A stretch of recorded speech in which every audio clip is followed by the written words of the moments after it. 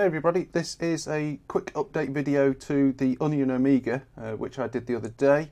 Um, I had an email through from um, the um, Kickstarter campaign saying that the Onion console is here. Um, now before this wasn't available, um, but it's just been released, so I've just updated the firmware on this. Um, I didn't do that on camera unfortunately, so I can't show you that, uh, but it was really easy to do. Um, so I've just got this set up now so and all installed so I'm just going to show you the console and a, a few little issues that I've, uh, I've spotted as well. So um, what I'll do I'll just quickly turn turn this on. I've just got this running off a little USB power bank at the moment so power it on. We'll let that boot up. Right that's booted up now so uh, what you can do is just go to a web browser and you can just go to the IP address of the Onion Omega on your own network.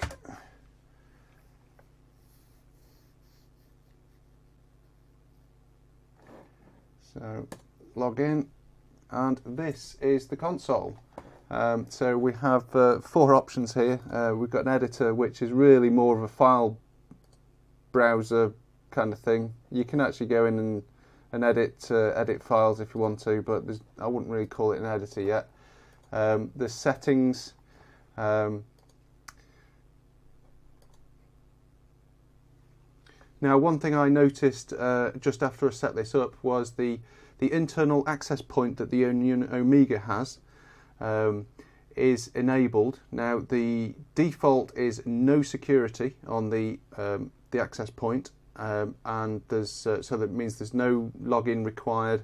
Um, so that means if you have not changed your root password on your Onion Omega, it means anybody can connect to the access point and uh, log into the uh, the console um, on your Onion Omega. Which, given that it's probably also connected to your um, your normal Wi-Fi, um, that is a really big issue. Um, so they probably need to change this to, uh, uh, as part of the setup process, to make sure that you change the uh, root password from um, Onioneer um, to uh, something which is more personal, because um, that's uh, that's a big issue. Um, also, the access point security should also be set up as part of that process as well. But anyway, that aside. So you can also update the uh, the firmware here as well and do a factory reset if you want. We go back to uh, that. We got um, status, which is some really basic status information on the uh, Omega, and we have a terminal, which makes things a little bit easier. So one of the first things I wanted to do with it was to at least get like a a blinking LED or some kind of output from it I was reading on the um, the help desk and it's got the pinout and it also mentions about using the GPIO lines um, using the command line called fast GPIO. Um, so the first thing I did was try that, but unfortunately it's not found. Uh, it's not there, so you can't use any of that. Um, so that's obviously broken. Um, but what I did find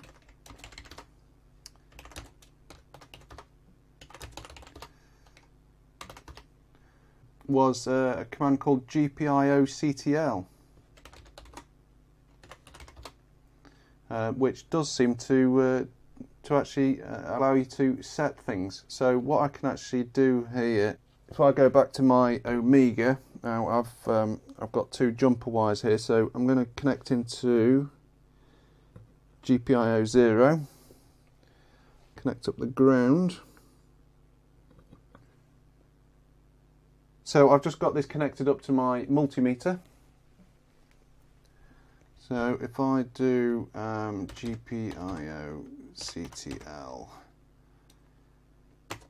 dir out dash high port zero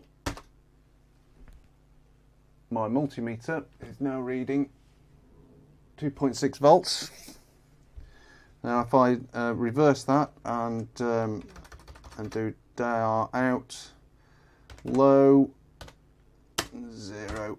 It goes back. So I, we do have some control over the IO um, Now, um, the other thing that I uh, noticed on the help desk is a command called um, exp LED, which allows you to control the the colour of the LED on the dock. At the moment, it's sort of a cyan a cyan colour, uh, and use the command um, exp LED to control that. So this is where there's um, a slight issue. Uh, exp LED.